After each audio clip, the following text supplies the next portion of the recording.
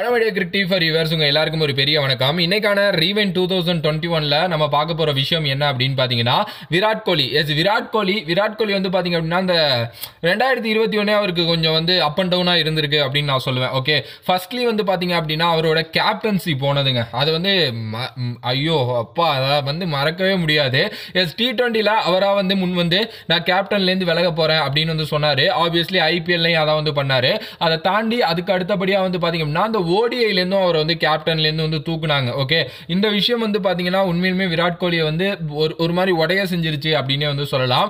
அதற்கு அடுத்தபடியாக வந்து இந்த வருஷமும் ஒரு செஞ்சுரி கூட இல்லாமல் வருஷத்தை முடித்தது அப்படின்னு நான் சொல்லுவேன். எஸ் அதுவும் வந்து பார்த்தீங்கன்னா விராட் கோலி ஒரு ஃபேனா இல்லை ஒரு விராட் கோலியோ விராட் கோலியை நிறையா ஃபாலோ பண்ணுறவனா வந்து கண்டிப்பாக கஷ்டமாக இருக்குது ஈவன் கிரிக்கெட்டை ஃபாலோ பண்ணுறவங்களுக்கே அது தெரியும். விராட் கோலி மாதிரி ஒரு பிளேயர் சால்டாக ரெண்டு வருஷம் வந்து செஞ்சுரியே இல்லாமல் இருக்கிறது வந்து எப்பா அது என்னன்னே தெரியல. அது மாதிரி வந்து இருக்குது ஸோ அதுவும் வந்து பார்த்தீங்கன்னா இந்த வருஷத்தில் விராட் கோலி பண்ண அந்த ஒரு ஃபேஸ் பண்ண ஒரு விஷயம்.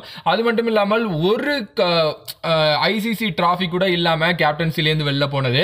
அதுவும் வந்து பார்த்தீங்க அப்படின்னா கொஞ்சம் கஷ்டமாக தான் இருக்குது எஸ் அஸ் அ கேப்டனாக அவர் என்ன தான் பண்ணியிருந்தாலும் ஐசிசி டிராஃபி அவர் வாங்கலை அப்படின்னு வந்து இருக்கிறது வந்து ஒரு பெரிய விஷயம் தான்.